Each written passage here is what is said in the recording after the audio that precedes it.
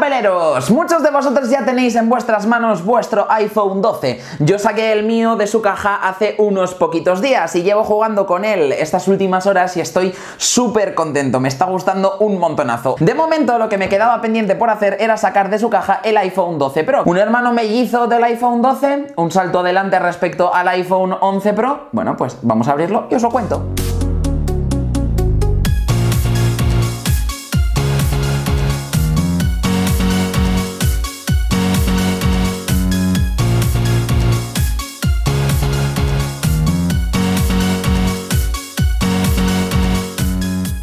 Propósito este año es que pasen por esta mesa de unboxings todos los dispositivos que Apple ha presentado. El primero ya lo hizo hace unos días, el iPhone 12, el más recomendable, el que va a ser el rey superventas del portfolio.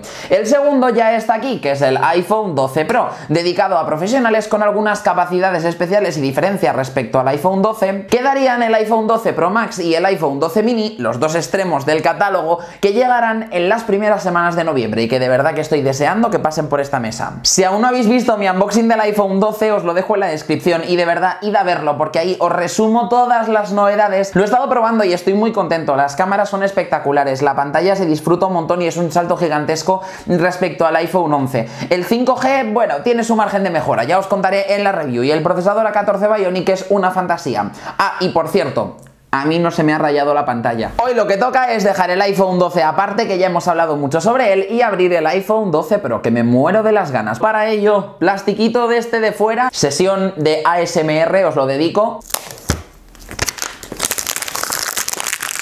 La caja, la caja es muy especial esta generación. La silueta del dispositivo, iPhone y las manzanitas en los laterales con las letras en el mismo color que tenemos el dispositivo dentro, en este caso el color dorado, destaca por lo sumamente delgada que es. Es súper pequeña. Y vosotros diréis, ¿pequeña comparado con qué? Bueno, pues pequeña comparado con una caja tradicional de Apple que venía a ser más o menos el doble. ¿A qué se debe esto? Bueno, pues porque Apple ha dejado de incluir en la caja dos accesorios, de manera que pueden conseguir este tipo de packaging que es mucho más responsable con el medio ambiente ocupa menos en los palés de transporte, ocupa menos en los almacenes y en la parte de atrás tenemos el detalle de la capacidad del dispositivo. En el caso del iPhone 12 Pro está disponible en 128 GB, 256 y este modelo de 512 GB de capacidad. ¡Vamos a ello! ¡Ay, qué emoción, qué ilusión!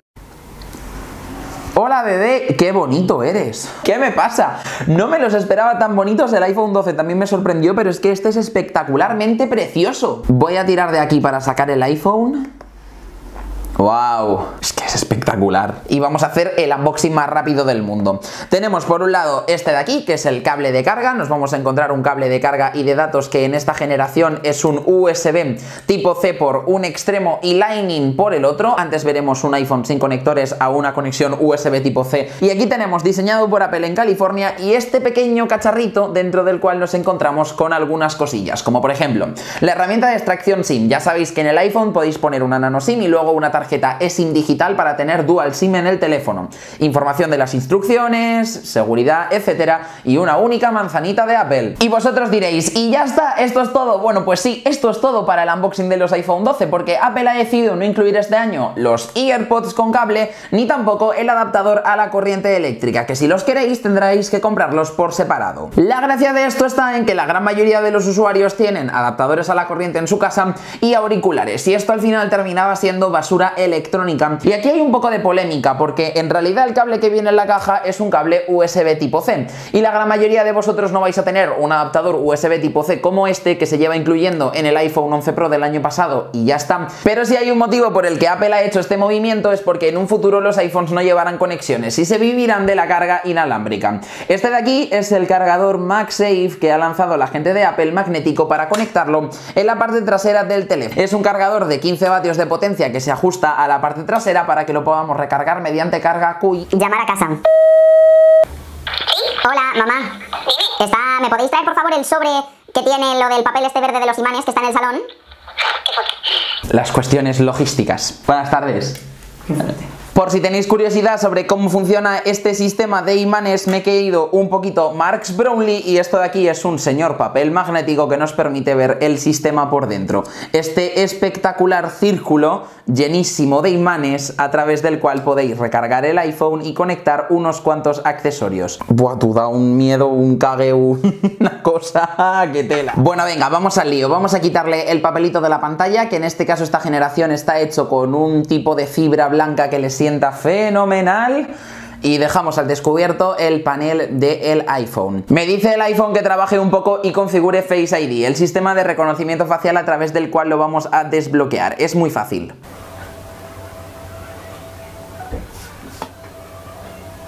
Face ID is now set up. Tic tac, tiki tac, tic tac, tiki tac. Bienvenido a tu iPhone, lo tenemos, deslizamos. Tiki ti. Bueno, y ahora que ya lo tenemos configurado, vamos a hablar de las novedades y de las cosas diferentes de este nuevo iPhone 12 Pro. Lo primero que destaca desde luego es el diseño, el nuevo diseño de estilo industrial que Apple ha estrenado en esta generación de teléfonos. Cantos planos, líneas muy rectas, un tipo de fabricación muy alejado al estilo un poco más organicista que están utilizando otros fabricantes con las líneas curvas. Tenía dudas de si me iba a gustar y desde luego que la respuesta es sí. Apple ha hecho un muy buen trabajo con los iPhones este año y a nivel de diseño son espectaculares. Es compacto, es cómodo, sienta bien en la mano, es muy manejable. A nivel de resistencia y de dureza tiene las mismas dos cosas que el iPhone 12. Resistencia IP68, que ya la tenía el iPhone 11 Pro, y un nuevo acabado de la parte frontal que se llama Ceramic Shield y que básicamente está compuesto de cristales de nanocerámica que lo protegen hasta cuatro veces más respecto al iPhone 11 Pro a las caídas. Parece que hay gente a la que ya se le ha arañado el iPhone por juntarlo con otros teléfonos. Yo personalmente todavía no tengo ningún arañazo, confío en que va a ser más durable o que va a tener más dureza que el iPhone 11 Pro, pero esto solamente nos lo va a decir el tiempo. Lo que sí que es diferente en este teléfono respecto al iPhone 12, a casi su hermano mellizo, es el acabado. En el caso del iPhone 12 Pro, los bordes, los marcos son de acero inoxidable y la parte trasera es de acabado mate en vez de acabado brillo. Y la verdad es que se nota mucho tanto en el color como al tacto. Y también son diferentes los colores. En el caso del iPhone 12 Pro, lo tenemos en este color dorado y luego vamos a tener color grafito, nuevo acabado, vamos a tener color plata, que es igual que el de la anterior generación, y un nuevo color azul pacífico. Bueno, y con un poquito de pulso, el iPhone 12 Pro se sujeta de pie sobre una mesa. A nivel de potencia, este iPhone 12 Pro integra el mismo procesador de toda la familia iPhone 12, el A14 Bionic. Es el primer procesador del mundo en un teléfono fabricado con tecnología de 5 nanómetros, lo cual le ha permitido a Apple meter dentro de él 11.800 millones de transistores. Esto que seguramente te está sonando a chino es una tecnología de fabricación en la cual todo es a una escala muy muy pequeña, de manera que se pueden hacer procesadores más eficientes a nivel de consumo energético y también más potentes. El resumen general es que han conseguido hacer un procesador muy capaz que integra 6 núcleos, 4 de bajo consumo, 2 de alto rendimiento. Y luego dos cosas muy interesantes. Lo primero, un motor neuronal, lo que Apple llama el Neural Engine, de 16 núcleos. Y por otro lado tenemos un nuevo procesador integrado de imagen que se encarga del procesado del HDR, de las fotografías que tomamos, de la grabación de vídeo en Dolby Vision. El resumen es que es un procesador súper potente, súper eficiente, que nos va a dar en estos iPhones batería para todo el día, desde que nos despertamos hasta que nos metemos en la cama. También es muy importante en esta generación a nivel de potencia y experiencia de uso del dispositivo que por primera vez los iPhones tienen conectividad 5G. Esto significa que podemos conectarnos a redes más rápidas, con velocidades más altas de subida y de descarga de datos y también con menos latencia, que en el futuro van a permitir jugar a videojuegos eh, que estén almacenados en la nube sin ningún problema en nuestros dispositivos, ver retransmisiones en directo sin ningún problema y muchísimas cosas más. Es verdad que del 5G se lleva hablando mucho tiempo y es un salto muy adelante importante dentro del mundo de las telecomunicaciones. En España compañías como Orange o Vodafone ya están probando con redes 5G en las principales ciudades como Madrid, Barcelona o Valencia y se irán extendiendo al resto de la península en los próximos años, de manera que los usuarios de los iPhones ya estarán preparados para este cambio tan grande que se viene en la industria. Para contaros más sobre el 5G tendré que esperar a la review donde lo voy a poder probar con las redes 5G de Vodafone y os contaré más detalles sobre la velocidad, el impacto que tiene sobre la batería y cómo funciona el modo Smart Data que ha presentado Apple y que permite cambiar automáticamente entre redes redes 5G y 4G cuando sea necesario para dar siempre la mejor experiencia. La espectacular pantalla que tenemos en la parte frontal es la misma pantalla que la del iPhone 12, una pantalla Super Retina XDR, un OLED como un castillo que nos ofrece más brillo, más color, colores más vívidos, una experiencia de visualización estupenda y además con más contraste, contraste 2 millones a 1 para disfrutar muchísimo del contenido. En este iPhone 12 Pro respecto al iPhone 11 Pro del año pasado ha crecido un poquitín, 0,3 pulgadas, hasta las 6,1 pulgadas que tiene esta generación y cabría mencionar que en el caso de los Pro tenemos un brillo máximo superior que llega hasta los 1200 nits cuando estamos consumiendo contenido multimedia HDR con tecnología Dolby Vision, HDR10 o también HLG. Pero si hay algo bonito e importante en este iPhone 12 Pro, esos son las cámaras. Una cámara más que en el iPhone 12, añadimos un tercer sensor y la inclusión por primera vez en un iPhone del sensor LiDAR. La combinación este año de nuevos sensores en la cámara y también de nuevos algoritmos de software para mejorar el procesado de las imágenes ha hecho que tengamos una cámara bastante más potente que la de la generación anterior y que está dejando unos muy buenos resultados. Yo mismo, jugando con la cámara del iPhone 12, estoy muy sorprendido por un salto adelante interesante respecto a lo que teníamos en el iPhone 11. Los nuevos sensores de 12 megapíxeles se caracterizan por ser más luminosos. Igual que en el iPhone 12 tenemos un sensor gran angular, apertura f1.6, por tanto un 25% más luminoso que la generación anterior, entra más luz. Tenemos el sensor ultra gran angular, que en este caso es de 120 grados de amplitud y que es más nítido que el que teníamos el año pasado. Y en exclusiva para los Pro tenemos el teleobjetivo, un 52 milímetros que nos permite hacer un zoom 2x con un encuadre un poquito más diferente que nos da mucha versatilidad para jugar con las cámaras. Estos tres sensores se benefician de un modo de procesado por software de Apple que se llama Smart HDR de tercera generación y que en este caso analiza las luces, las sombras y los contornos de todos los objetos de manera que podemos conseguir fotos con mucho más nivel de detalle y con un mejor color. Es impresionante el trabajo de HDR que hace Apple. Por otro lado, esta generación, aunque se estrenó en el iPhone 11, va a ser la primera vez que podamos utilizar el modo noche de larga exposición para hacer fotografías totalmente en la oscuridad en los tres sensores, porque antes se reservaba únicamente para el sensor angular principal. El otro añadido novedoso de esta generación al sistema de cámara es el sensor LiDAR, algo con lo que Apple ya experimentó en el iPad Pro de principios de este año, os dejo también el vídeo en la descripción, y que algunos fabricantes habían incluido en los teléfonos del año 2019, donde el sensor TOF 3D se puso como de moda. En este caso, en el iPad Pro servía para tareas de realidad aumentada, es algo que también vamos a poder utilizar en este iPhone 12 Pro, pero aquí el enfoque principal está en la fotografía. Crea un mapa 3D de todos los objetos que tenemos alrededor, de manera que sabe su ubicación precisa y es un mapa súper súper preciso,